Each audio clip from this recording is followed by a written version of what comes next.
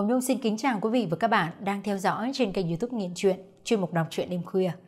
Đến với Nghiện Chuyện ngày hôm nay, hân hạnh gửi đến cho quý vị và các bạn một bộ truyện dài kỳ rất mới của một vị tác giả rất quen thuộc trên kênh. Và anh có một cái bộ truyện làm bom tấn trên kênh Nghiện Chuyện, đó chính là chuyện ở chợ. Và quý vị đã theo dõi từ mấy năm trước qua giọng đọc của Hồng Nhung đón nhận rất nhiều sự yêu thích của quý vị qua cái lối viết châm biếm, qua lối viết rất là sâu sắc của tác giả Đặng Lê Hùng. Hôm nay một bộ truyện mới nữa của anh sẽ được gửi đến quý vị khán giả có tựa đề Thời đại mới. Ngay bây giờ, mời quý vị chúng ta đến ngay với tập 1 của bộ truyện hấp dẫn này được thể hiện qua chất giọng quen thuộc của Hồng Nhung. Đừng quên sau khi nghe xong tập 1, để lại bình luận đánh giá của quý vị xuống bên dưới phần comment và ấn like, đăng ký kênh để tiếp tục theo dõi và đón chờ Hồng Nhung trong tập 2 sẽ được phát sóng vào khung giờ này của đêm ngày mai trên kênh youtube Nghiện Chuyện. Ngay bây giờ, gửi đến quý vị và các bạn Thời đại mới tập 1.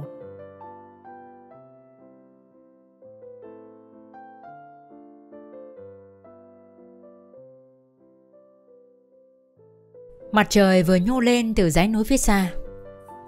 Những áng mây hồng lảng vàng trên cao tạo ra một nền trời rực rỡ như cánh đồng hoa đang vào mùa nở rộ. Bình minh là sự bắt đầu một ngày mới với những tia nắng vàng óng như rót mật trải rộng trên mặt đất, khiến bản vật sinh linh bừng tỉnh sau một đêm dài, chìm sâu trong giấc ngủ. Tiếng chim kêu, tiếng người nói, tiếng nổ của động cơ, tiếng còi xe rục rã hối hả trên đường, đưa con người vận hành theo guồng quay của nhịp sống. Lại một ngày mới diễn ra bình thường như thường ngày, trên cái đất Nam Thành. Đúng là nhờ có chính sách đổi mới của Đảng và Chính phủ mà giờ đây khắp nơi dân ta đã giàu có ấm no hơn bao giờ hết. Ông Hoạt đứng trước gương đang chỉnh lại cái cà vạt màu đỏ, cờ gắn vào chiếc kim cho ngay ngắn. Ông khẽ nở một nụ cười mãn nguyện. Sự thành đạt viên mãn hiện rõ trên gương mặt đầy đạn hồng hào bóng nhoáng như được bôi một lớp dầu bóng. Vầng trán đã bắt đầu được cơi nới thêm lên trên đỉnh. Bởi mỗi lúc trải đầu, những sợi tóc cứ nối đuôi nhau lìa đầu một cách không thường tiếc. Đã đến lúc rửa mặt thì lâu, gội đầu thì nửa phút. Được cái tóc ông vẫn cứ xanh, chỉ lốm đốm có vài sợi bạc. Không như là cái lão thanh bí thư, tóc đã bạc trắng nhưng lại nhuộm đèn kít. Mỗi lần nhuộm xong lão lại nghêu ngào hát. Tóc bạc anh nhuộm xanh ngay, thò tay vào túi cổ hành vẫn tươi.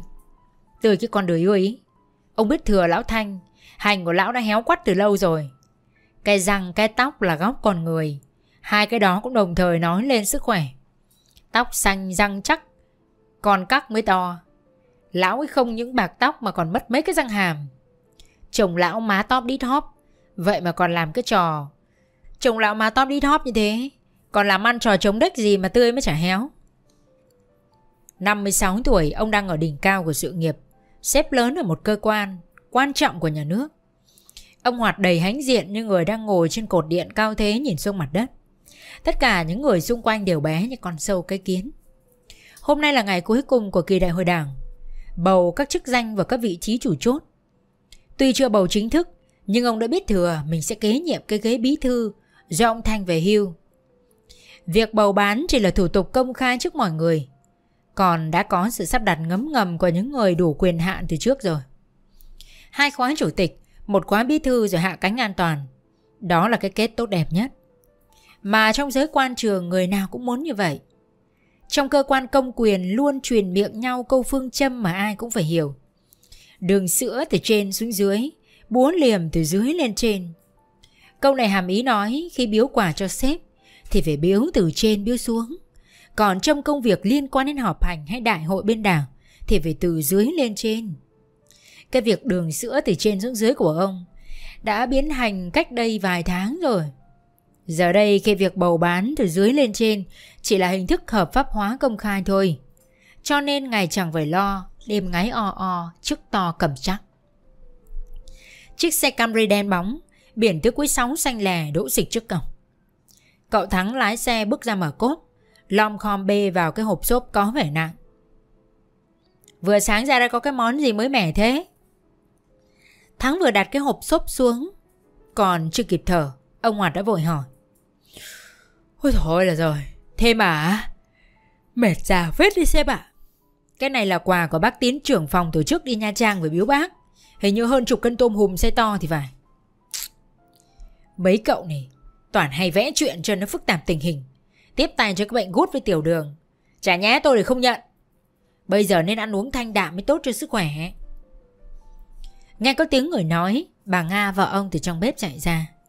Từ ngày chồng làm sếp. Những vụ quà cáp chỉ là vài con tôm Con cá như thế này Nhưng cũng cả chục triệu đồng là chuyện thường. Bà Don à Sớm mai mà có lọc sớm thế này là may mắn lắm đấy. Ông cứ nói vậy cho nó phụ lòng người ta. Chú ấy chỉ là cái người cầm hộ. Chú vào nhà xơi nước đã Có ấm trà ngon vừa mới pha. À, Thôi à, bác cho em xin phép để khi khác. Giờ em phải đưa bác trai đi họp kiểu muôn ạ. Bà Nga thừa biết tính chồng mình. Mồm thì khách sáo thế thôi. Chứ cái bụng thì á, ưng lắm rồi. Tôm hùm là cái món khoái khẩu của lão. Khoái món gì chả khoái, Chứ món đặc sản cao cấp đi ai mà chẳng thích. Mỗi bữa ăn đi đứt vài tạ gạo là thường. Nếu là phó thường dân, Có mãn đời mặt kiếp cũng chả đụng vào cái vỏ.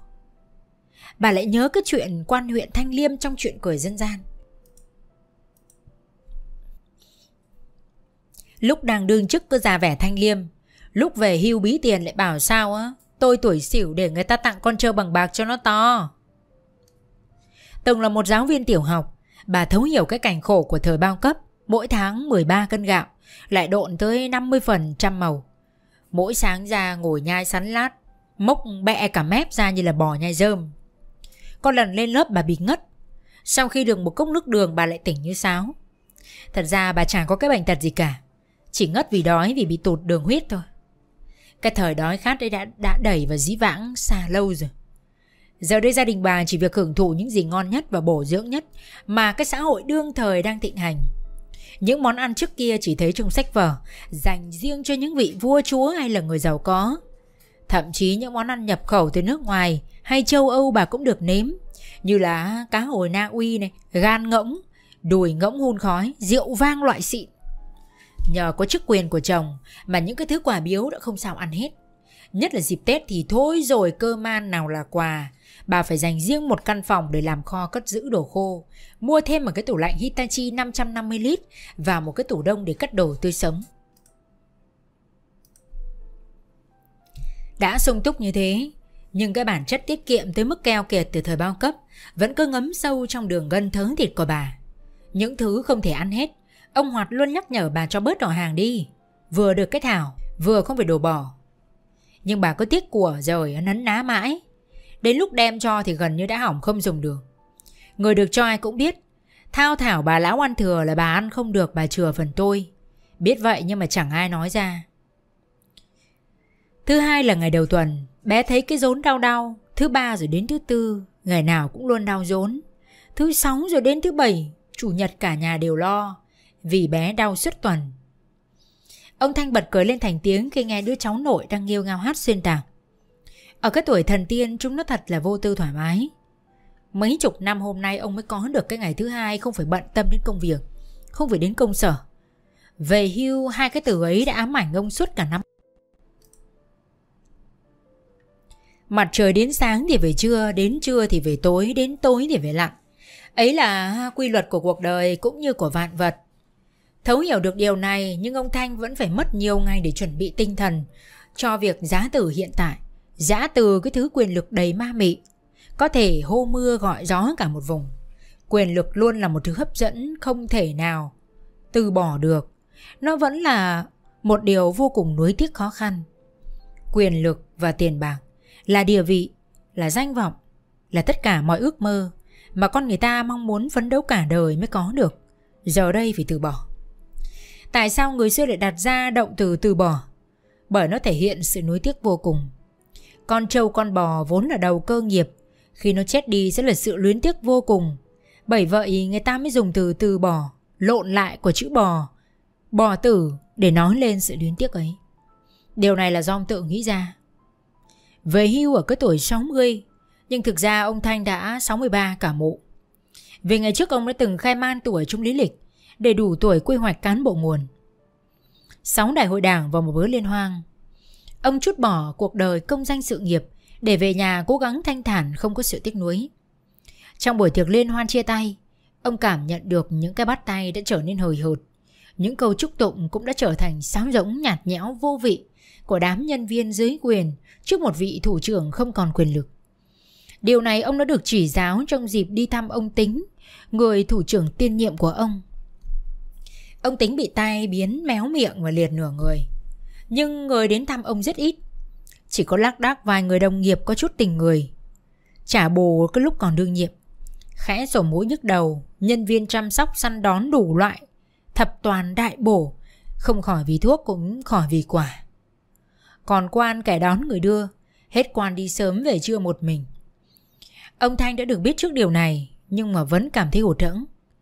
Cảm giác mỗi sáng quần áo chỉnh tề, bước ra chiếc ô tô đến đón đỗ ngoài cổng, với cậu lái xe khúm núm xun xoe đã không còn. Thời gian bỗng trở nên thừa thãi và dài ra vô tận. Hết nằm rồi lại ngồi, xem các chương trình tivi cũng chưa đến 11 giờ trưa. Cơm thôi ông ơi! Tính bà Thơm và ông gọi vọng ra từ trong bếp. Ông Thanh ngồi vào mâm với dáng vẻ uể oải, cò no khó nhử. Bát phở bò đầy dinh dưỡng hồi sáng có lẽ vẫn chưa tiêu tan trong cái cơ thể thừa chất của ông. Thằng Thái nó không về ăn cơm rồi bà. Ai... Hôm nay tụi nó liên hoan. Bế giảng, bế giọt gì đấy, nên là có về đâu. Bà chiều con nó vừa thôi đấy. Cứ sẵn tiền dấm dúi đưa cho nó. Đi học cả năm trái có cái chữ nào. Người ta không nể tôi thì đuổi học lâu rồi. Đến hôm thì tốt nghiệp Tôi không bảo tay thuận trưởng phòng giáo dục nó lo cho. Thì cũng trượt chồng vó rồi rồi. Đúng là đời cha vo tròn đời con bóp bẹp. Chả biết có sống nổi yên ổn đến năm tuổi già không nữa. Rời Ông lúc nào cũng quan trọng hóa vấn đề. Nó chỉ nghịch ngợm chơi bời một tí thôi Chứ làm gì mà hư hỏng đâu. Đúng là là, là là là con hư tải mẹ Cháu hư tải bà. Lúc nào cũng bênh con chầm chầm ra. Bà cứ chiều chuộng nó mãi Rồi nó phá nát cái nhà này có ngày. Thôi thôi thôi Ông ăn cơm đi cho nó ngon miệng. Cứ đến bữa lại cằn nhằn Mất cả ngon. Ông Thanh vừa lấy đũa khều mấy hạt cơm gạo sáng cù, Từ bát đưa vào miệng. Thì bỗng có tiếng gọi rất to từ ngoài cổng Làm ông giật này cả mình. Ơ bác Thanh có nhà ông đấy Ông Thanh lẩm bẩm. Quái lạ nhỉ. Sao giờ này lại có tiếng người lạ gọi là thế nào? Ông cứ ăn cơm đi để tôi ra xem ai. Thôi thôi bà cứ để đấy tôi. Ông Thanh đặt bát đũa bước nhanh ra cổng. Ông Hoạt nằm ngả người trên bộ salon đồng kỵ bằng gỗ môn đen, Với gương mặt rất hà hê. Trước bí thư và tay ông đúng với dự kiến. Trên thì có những lãnh đạo ngầm bật đèn xanh, Dưới thì có những lá phiếu bất khả, Từ cùng hộ. Nói là bỏ phiếu kín, Nhưng mà ai cũng ngầm hiểu rằng Những người có lá phiếu không ủng hộ sếp. Khi sếp lên chức mà điều tra ra Thì cuộc sống của họ coi như chấm hết cũng bởi tâm lý sợ trả thù và dĩ hòa vi quý mà ai cũng bỏ phiếu thuận cho những người có uy quyền và khả năng chắc chắn sẽ lên chức. Tiếp quản căn phòng này được vài hôm, ông Hoạt cho thay đổi toàn bộ nội thất, từ rèm cửa đến bộ salon và bàn làm việc. Công việc này tốn kém khá nhiều tiền bạc, nhưng quy chế của nhà nước cho phép làm điều đấy. Và lại cũng là nguyện vọng của sếp trường, chả cấp dưới nào nỡ từ chối. Tránh văn phòng của ông sẽ kết hợp với phòng tài chính để lo việc này. Trên đời phàm là con người Không ai có thể sướng toàn diện. Ông trời không cho ai tất cả. Ông Hoạt bề ngoài tưởng nó đã có mọi thứ Gia đình, tiền bạc, địa vị. Nhưng bên trong Ông vẫn còn một cái nỗi khổ Mà không thể kêu than với ai Ngoài cậu lái xe thân cận nhất. Ông Hoạt theo vai vế trong họ là trưởng họ Nhưng vợ chồng ông lại là sinh con một bầy Đứa đầu là đứa gái Đứa sau là trai. Nhưng mà trai trai Lúc đẻ ra nhìn thấy bèn bẹt. Không có ngẩu thò ra là ông chán mớ đời. Nhưng mà việc đó cũng buộc phải chấp nhận. Vì một thời gian, Một trong tiêu chuẩn quan trọng của đảng viên lúc đó là không được sinh con thứ ba. Sau chiến tranh để phục vụ phát triển kinh tế chủ trương nhà nước, Phải sinh đẻ có kế hoạch. Đến như đại tướng Võ Nguyên Giáp lừng danh như thế, Còn có lúc được bổ nhiệm làm trưởng ban sinh đẻ kế hoạch của nhà nước nữa là. Vì sự nghiệp phấn đấu của bản thân Ông Hoạt đành gạt bỏ hết chuyện đẻ con trai. Ông luôn tự động viên mình. Được cái nọ thì thôi cái kia. Có con trai mà trên răng dưới cắt tút thì trai làm cái gì? Nghĩ vậy thôi. Nhưng lắm lúc cũng bực cả mình. Cái thằng khởi hàng xóm cận kề, Làm nghề thợ hồ rách như sơ mướp, Lại đẻ hai thằng con trai to lông lốc như đô vật sumo Mỗi lúc nhìn cha con nhà nó mà ông thầm ghen tị. Nhiều lúc rượu vào ngứa mồm, Nó lại cứ chọc ngoái đều. Cũng tức đáo để Nào là là là Nhà to con rể ở, Tiền bạc cháu ngoại tiêu. Chắt chiêu tiền bạc rõ nhiều, Con trai chả có ta hồ rể tiêu. Điền tiết thật thì cái loại khố rách thì lại có con trai. Quá trình phấn đấu không mệt mỏi nhiều năm, Giờ đây ông Hoạt đã là sếp lớn. Tất cả mọi thứ đều có, Tiền vàng đô la không thiếu cái gì, Chỉ thiếu thắng đồng. Nguyên tố thứ ba mà ông thằng mơ ước. Đồng, công thức hóa học là Cu Nên ông thiếu thắng đồng Cha ông trước khi nhắm mắt Tắt hơi thở cuối cùng vẫn cầm tay ông dặn dò. Thì kiểu gì thì con cũng phải kiếm một thằng cu. Để mà nối dõi Vì ông là con trưởng.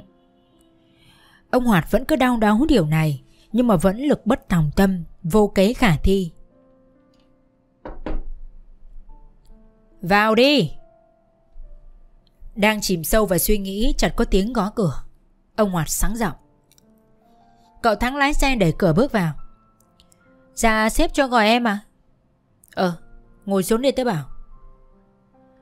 Cái việc hôm trước tớ nhờ cậu đến đâu rồi? Ồ đấy, Sếp không nhắc, em lại quên khuấy đi mất. Có rồi đấy sếp ạ. Nhưng mà em còn cân nhắc. Mãi không biết là con nên nói với sếp hay không. Ừ hay nhờ.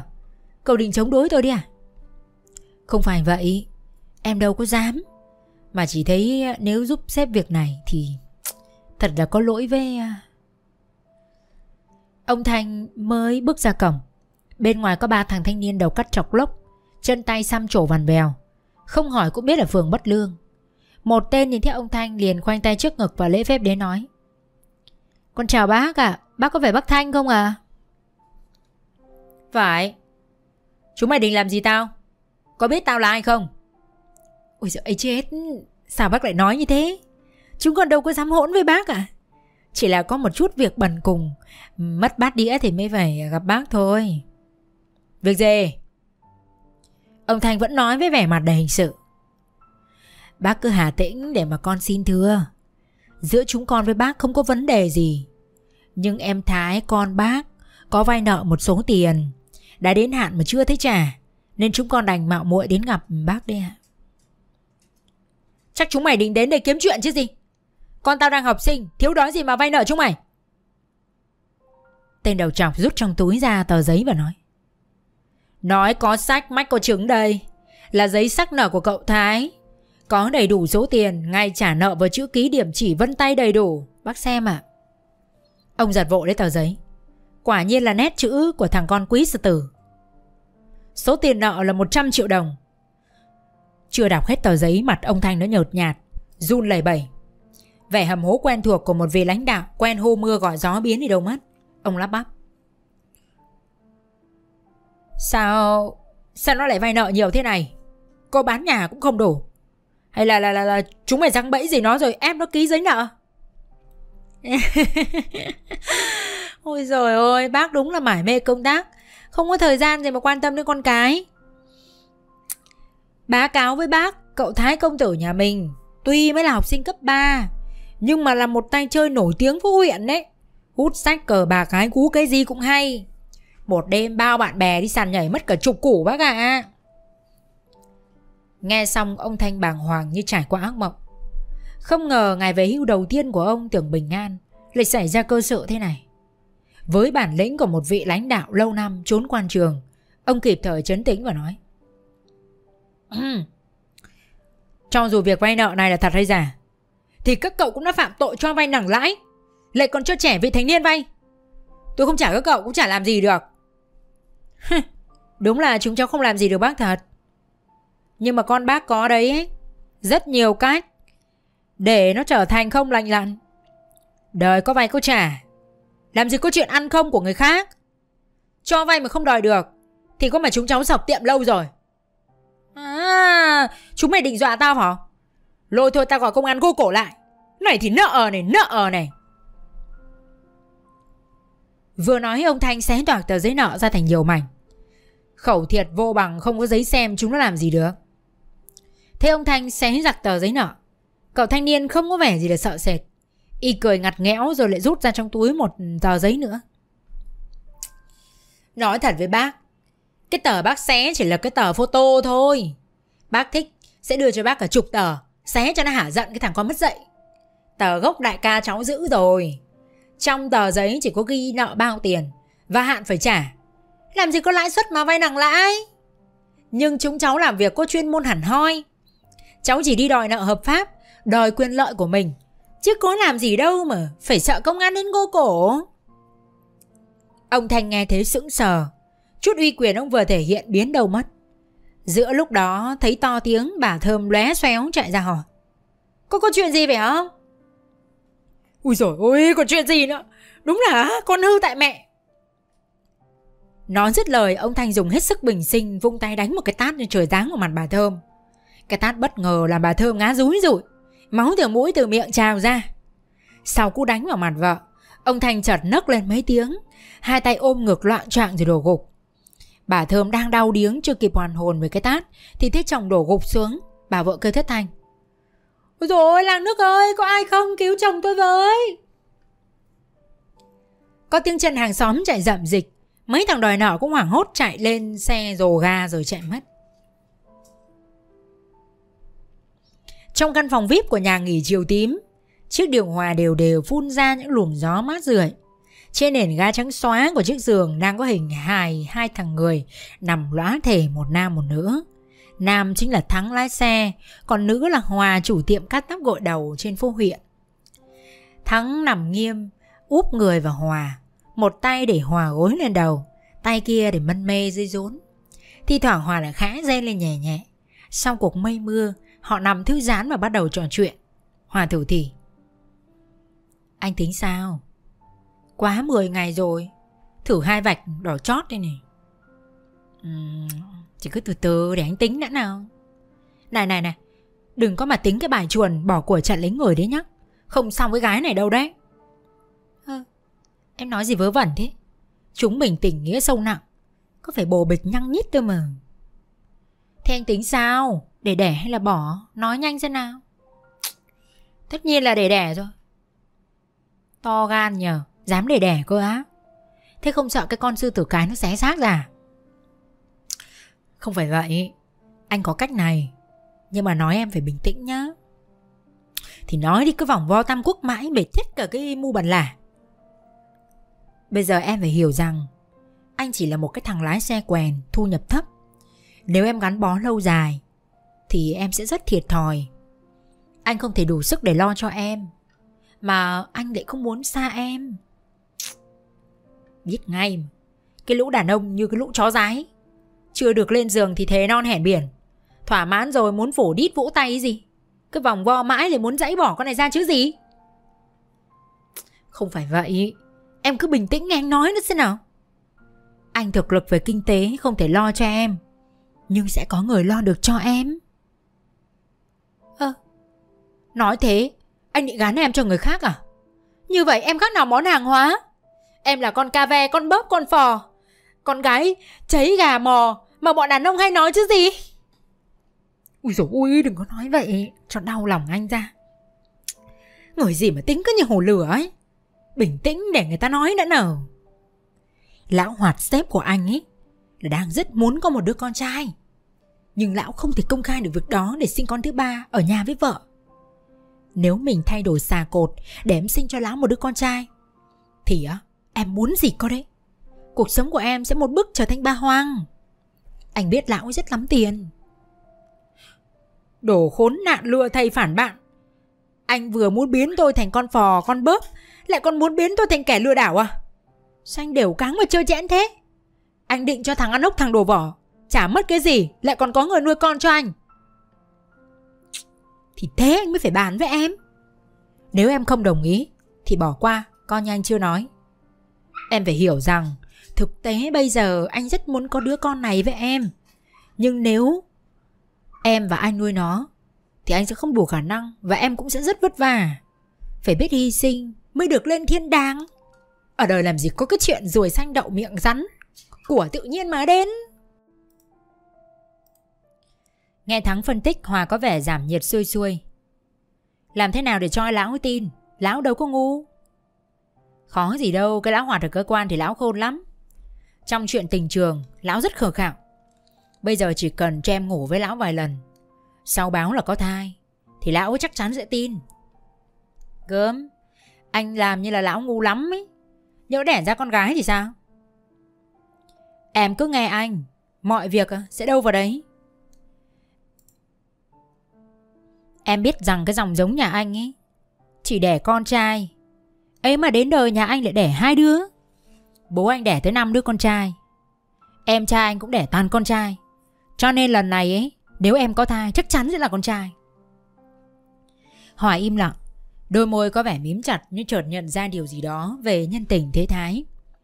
Chuyện sắp đặt của Thắng khiến cô nhớ tới chuyện Lã Bất Vi đã gả triệu cơ có thai của mình cho doanh dị nhân, mà sản sinh ra một tần thủy hoàng nổi tiếng ở trong lịch sử Trung Quốc.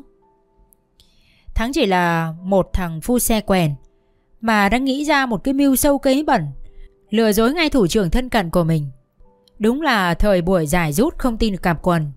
Tin theo con người mưu mô xảo trá như này rồi cuộc đời mình sẽ ra sao? Ông thành khé cửa mình rồi chẳng mở mắt. Xung quanh là màu trắng của chiếc chăn và tấm ga trải giường của bệnh viện màu trắng toát. Chiếc máy đo nhịp tim huyết áp đang phát ra những tiếng kêu píp píp đều đặn. Ông Thanh toàn kêu to lên một tiếng, nhưng bất lực vì có một vật úp sụp lấy miệng như con chó bị người ta dọ mõm. Bao nhiêu năm ở vị trí lãnh đạo, tha hồ, hô mưa gọi gió, nói gì người khác cũng phải nghe. Mà giờ đây khi về hưu lại khổ sở thế này, muốn kêu lên một tiếng cũng không được. Thấy ông Thanh đã mở mắt cựa quậy. Bà Thơm mừng rỡ kêu to. Ôi dồi ôi, lại trời vọt ông tỉnh rồi đấy à Ông Thanh cố lấy tay gỡ cái chụp trên mặt ra và phều phào. Tôi đang trong viện đấy à? Sao lại đến nông nỗi này cơ chứ? Ông không sao rồi tốt rồi. Ông đột quỵ mê man suốt một ngày một đêm đấy.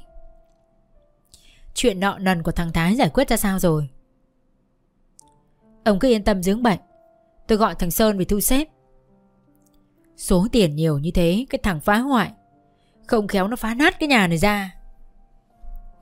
Thằng Sơn nhờ bên công an can thiệp Nên nó chỉ thu gốc và một ít lãi Chứ không lấy gì cả. Trái với ông Hoạt Ông Thanh đã kịp thời đẻ được bốn đứa con Trước khi nhà nước khóa máy đẻ. Kế hoạch khóa gia đình. Sơn, Hà An, Thái Bốn cái tên với lòng đầy kiêu hãnh tự hào. Sơn là con cả của ông Thanh. Năm nay tròn 38 tuổi. Cái tuổi đủ độ chín chắn để suy nghĩ và hành động chuẩn mực. So với các em ở trong nhà Sơn là người thừa được nhiều đức tính tốt từ ông Thành nhất. Bởi anh lớn lên trong gian khổ của thời đại bao cấp. Những bữa cơm trộn bo bo Và thải ra lổn nhổn Như phân cầy phân cáo Và những buổi xếp hàng đi mua mấy lạng thịt, cân gạo đang ngấm vào từng đường gân thịt của Sơn. Khổ để người ta vươn lên, Nhục để người ta vực dậy.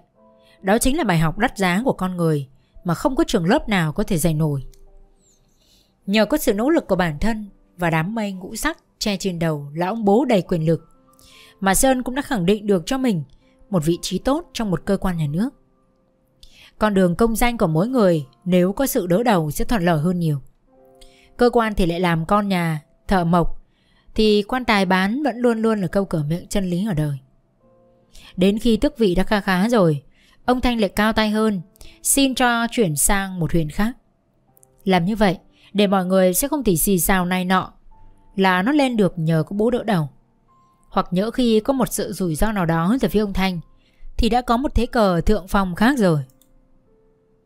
Nhưng nước cờ cao như vậy, làm sao những kẻ ngu muội khác có thể nghĩ ra? Nếu em giúp bác việc đó, Thì cảm thấy rất có lỗi với bác cái. Cậu thì là vẽ chuyện. Ông huyện về quê.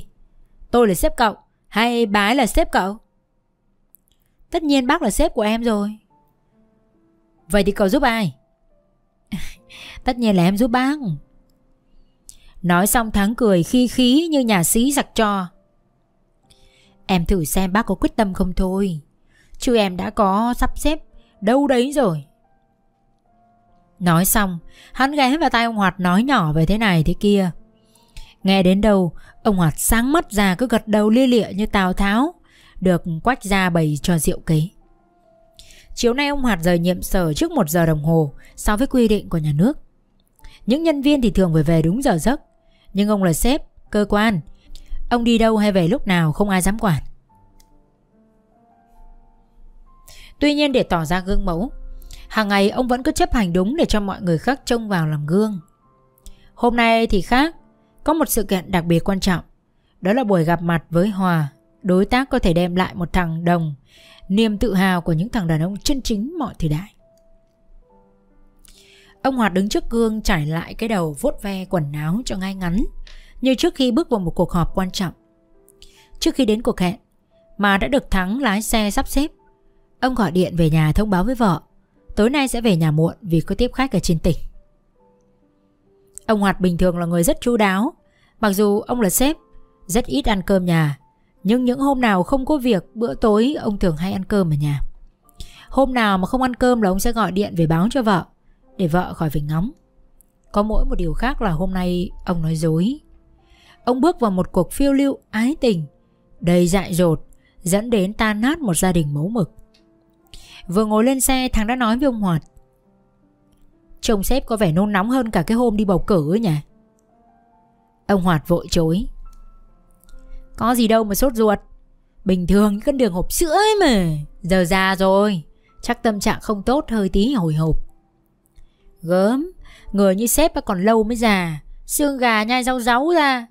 Kiếm được em nào lại ngon, Hổ đói nứt dây non. Gà con lại sơi tấm nếp.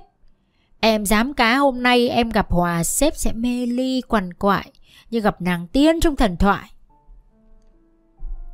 Để an toàn tuyệt đối, em phải thu xếp để gặp xa một tí. Như kiểu xếp đi đánh bắt xa bờ ấy. Loanh quanh huyện nhà, lỡ có người nhìn thấy thì mang tiếng lắm xếp ạ. Cậu đúng là chỉ được cái chú đáo thôi. Tôi trông cậy hết vào cậu đấy. Tạm thời cầm lấy ít tiền, thu xếp cho nó ổn thỏa. Vừa là thưởng nóng cho cô cậu.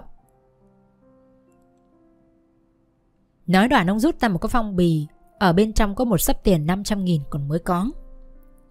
Tôi cũng chả đếm đâu, Chắc khoảng hai chục cổ Thằng Tiến cai xây dựng nó trò đấy. Sếp cứ yên cái con nhà bà Trí Mỹ cái thằng em này. Đâu sẽ có đó, Thì chó sẽ có một rau mơ.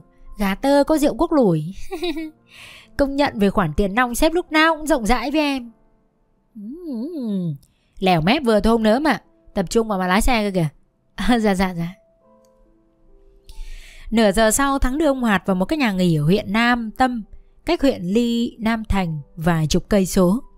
Nhà nghỉ này nằm ở một vị trí khá kín đáo. Có lẽ nó lịch sự hơn nhà nghỉ một chút Nên có cả sân rộng khuôn viên để đỗ xe Và có một cái tên hơi tây một chút Hotel Stream. Do trình độ ngoại ngữ của dân ta còn hạn chế nên thường đọc là Hotel chim. Ngay từ lần đầu tiên gặp Hòa, Ông Hoạt đã bị tiếng sét ái tình đánh trúng.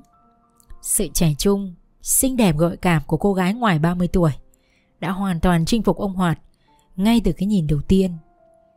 Thật ra lúc bình thường, Dù trông Hoạt đã làm sếp, Nhưng ông vẫn là người đàn ông trung thủy từ trước đến giờ.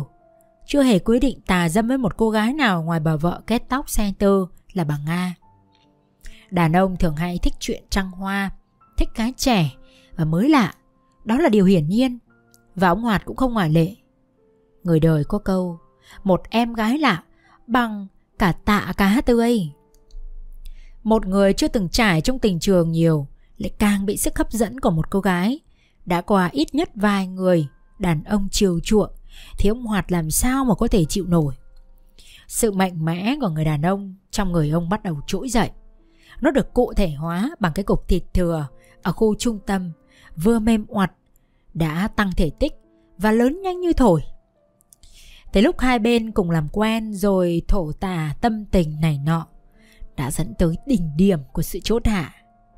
Ông Hoạt chẳng đủ tỉnh táo để kiềm chế được nữa. Ông vồ lấy cái cơ thể săn chắc và nóng hôi hồi của Hòa, bắt đầu làm cái công việc tìm kiếm thằng đồng ở trên cơ thể của cô. Mà dụng cụ là cái cần tăng dân số, một cái vật bất ly thân kể từ khi lọt lòng mẹ.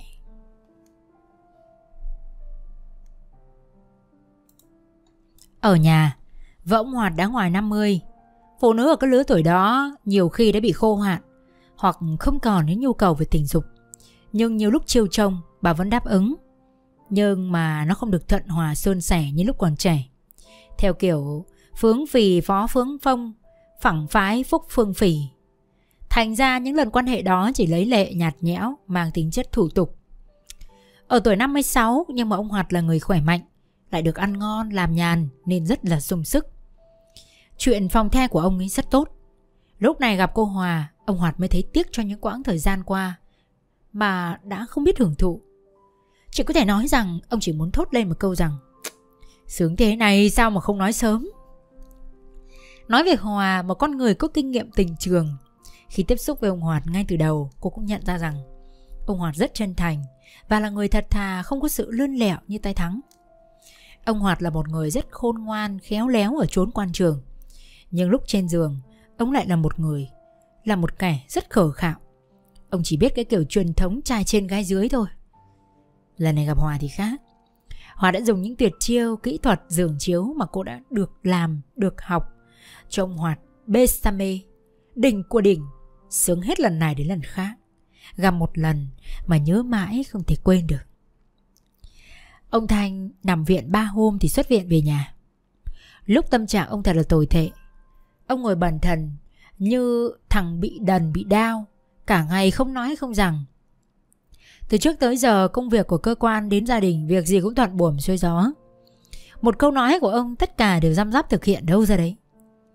Ngờ đâu cái thằng con út chết tử chết tiệt trời đánh, thánh vầm. Ôi, nó lại làm ông khổ thế này. Ông quyết định gọi các con về, mở một cuộc họp gia đình.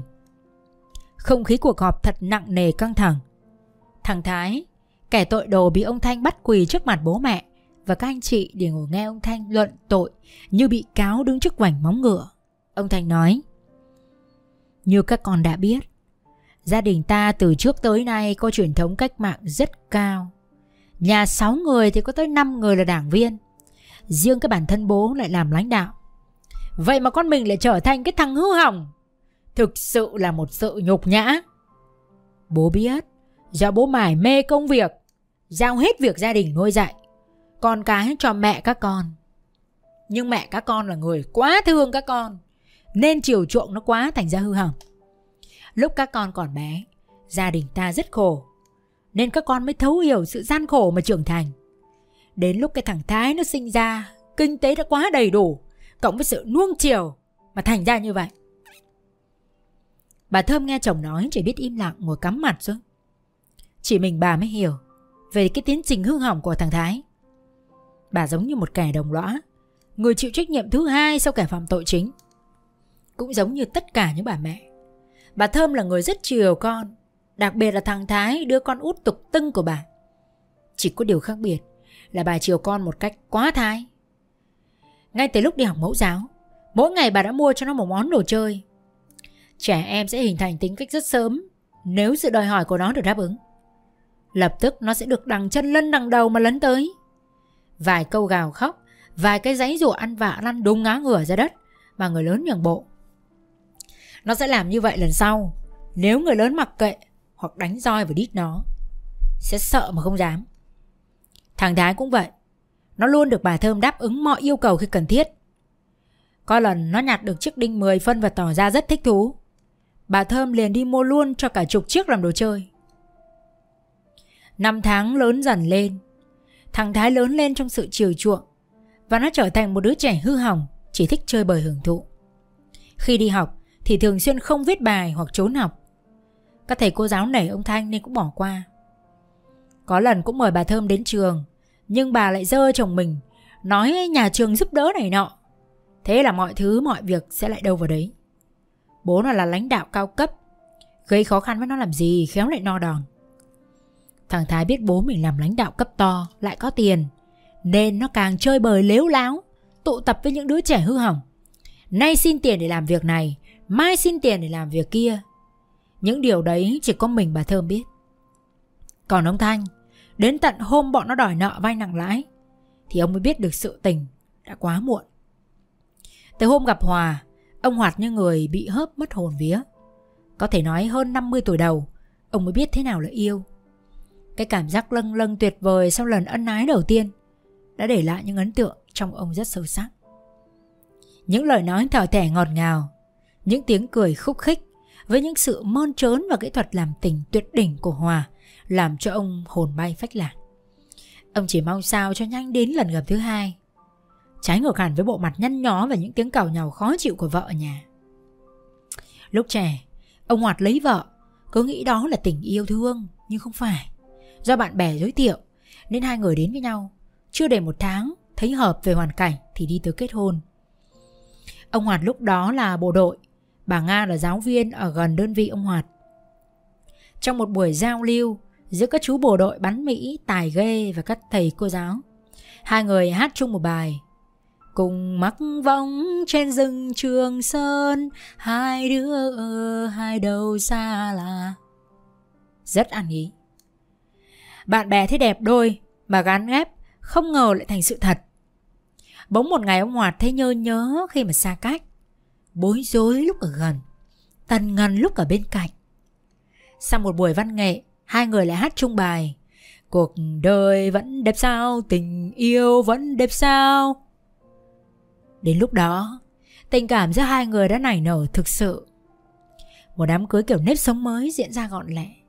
Hai người về chung một nhà, Nấu chung một nồi cơm độn ngô khoai sắn, Đĩa rau muống luộc chấm tương, Bát cà pháo chấm muối chua nhưng cũng đủ làm nên một hạnh phúc nho nhỏ. Làm gì có tuần trăng mật trăng mẽo. Cuộc đời cứ thế trôi đi. Hai người luôn sống thuận hòa Cho dù bà Nga liên tục đẻ ra hai thị mệt Đứa đầu giống mẹ Đứa sau cũng giống mẹ nốt. Điếu cầy thì chẳng thế đâu Chỉ thấy giặt là dép tông bàn là. Từ hôm có mối quan hệ với họ, Ông Hoạt lạnh nhạt chỉnh mảng hẳn với bà Nga. Những bữa cơm ăn cơm nhà Ông Hoạt chẳng buồn điện về nhà như trước.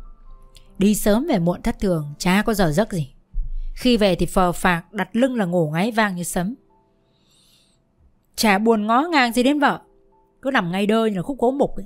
Thuế sản cha chịu nộp gì Thoạt đầu bà nghĩ rằng có thể là do công việc. Nhưng về sau mỗi lần giặt áo, bà lại thấy vài vết son mập mờ và thoang thoảng cái mùi nước hoa phụ nữ. Trong đầu bà đã xuất hiện những câu hỏi nghi vấn. Sau lời buộc tội của thẩm phán tối cao là ông Thanh, đến lượt Sơn là con cả. Thái, mày nói tao nghe, ngoài chuyện nợ nần mày còn làm cái gì nữa? Có cờ bạc nghiện hút trích choác gì không? Thái cắm mặt lắc đầu mếu máu. Không ạ Nó bắt đầu ngọ nguậy Gãi gọ khắp người và ngáp mặt liên hồi An là anh ngay liền với Thái cũng nói Mèo vằn cắt tai trả khỏi vằn Nói nhẹ còn lâu mới chịu nhận Cứ đưa đi bệnh viện lấy máu xét nghiệm là biết ngay Nhà này bỗng dưng lạc lò ra cái thằng, Như mày khổ thế không biết. Tôi có thế nào? Đã có bố mẹ dạy đéo đến lượt anh. Anh đã làm được cái đéo gì cho tôi mà lên mặt dày đời? À thằng mất dạy này. Tao thì tao tao Tao đập nát cái mõm chó của mày ra bây giờ nhé Ít nhất tao cũng là anh mày. Đã làm láo không biết hối là còn chửi bậy à? Tôi thách anh đấy. Mày câm mồm lại ngay. Vừa ăn cướp vào ra làng, Không còn cái tôn ti trật tự gì nữa phải không? Hà là con gái thứ hai lúc này mới lên tiếng. Con nghĩ cả nhà mình không nên truy cứu nguyên nhân và kết quả nữa. Mãi xem bàn xem cách khắc phục thế nào. Vừa lúc đó thằng Thái bỗng giật giật mấy cái rồi ngã lăn ra. Bọt mép túa ra trắng xóa. Bà Thơm là người hoảng loạn đầu tiên và vội kêu. Ôi rồi ôi, con tôi làm sao thế này? Các người cứ hành hạ nó mãi. Mẹ cứ bình tĩnh. Nó không làm sao đâu. Nó lên cơn nghiện ma túy đấy. Ông Thanh rên gì Trời ơi sao cái thân tôi nó lại khổ nhục thế này cơ chứ? Liệu có phải đưa nó đi bệnh viện không hả con? An nói. Ui viện viết gì đâu bố. Bây giờ có một tép hít vào để tỉnh như sao sậu ngay. Trong khi mọi người đang bàn luận xôn xao Thằng Thái nằm dưới đất vẫn đang giấy rụa lăn lộn rên rỉ. Người nó như có hàng trăm nghìn mũi kim đâm vào da thịt và như có hàng trăm nghìn con giòi đang đục ở trong xương trong tủy. Đau đớn không thể nào mà chịu nổi. Nó biết rằng đã đến cơ sự này. Trong nhà chẳng ai có thể bênh vực. Ngoài người mẹ tội nghiệp của nó, Thì chẳng còn ai bênh vực nó nữa. Nó luôn mồm kêu mẹ ơi cứu con với, Mẹ ơi cứu con. Bà Thơm nghe con kêu vậy, Trong lòng cũng nát hết cả ruột gan, Nhưng không biết làm thế nào mà đành ngồi ôm lấy con mà khóc. Ông Tàn nghiến răng nghiến lợi đang nghiến Thấy chưa bà thấy cái sự chiều chuộng của bà chưa đấy Nhận được hậu quả của việc bà chiều chuộng con rồi đấy Quý vị và các bạn thân mến, vậy là chúng ta vừa lắng nghe hết tập 1 của bộ truyện ngắn rất hay được viết bởi tác giả Đặng Lê Hùng. Tác giả của bộ truyện Chuyện ở chợ cũng đã làm nên bom tấn trên kênh nghiện truyện trong thời gian trước. Và bộ truyện lần này của anh có tựa đề Thời đại mới. Câu chuyện xoay quanh khung cảnh của những con người trong thời đại đất nước mở cửa. Và để tiếp tục lắng nghe được tập 2 của bộ truyện hấp dẫn này qua phần diễn đọc của Hồng Nhung, quý vị đừng quên bấm like, đăng ký kênh để lại comment những ý kiến đánh giá của quý vị về bộ truyện này cũng như chất giọng của Hồng Nhung ở bên dưới. Chúng ta sẽ gặp lại nhau với tập 2 vào đêm ngày mai, giúp cho quý vị có những giấc ngủ thêm ngon. Còn bây giờ, Hồng Nhung xin kính chào tạm biệt và hẹn gặp lại quý vị trong những chương trình tiếp theo.